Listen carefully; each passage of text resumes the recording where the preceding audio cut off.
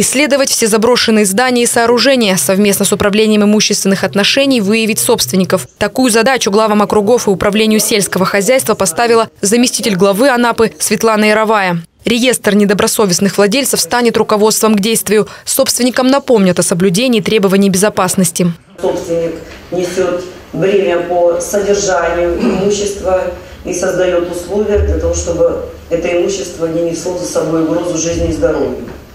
Значит, отправляем.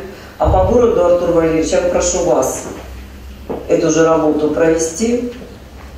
Также собираем информацию, направляем, присаживайтесь письма и составляем э, Максим Сергеевич общий свод такой и отправляем э, в органы прокуратуры с тем, что нами исследовано, какие нами произведены действия, информируем прокуратуру и просим принять меры в рамках их полномочий. Муниципальный контроль обследует территорию города. На выполнение этой работы Светлана Яровая отвела неделю.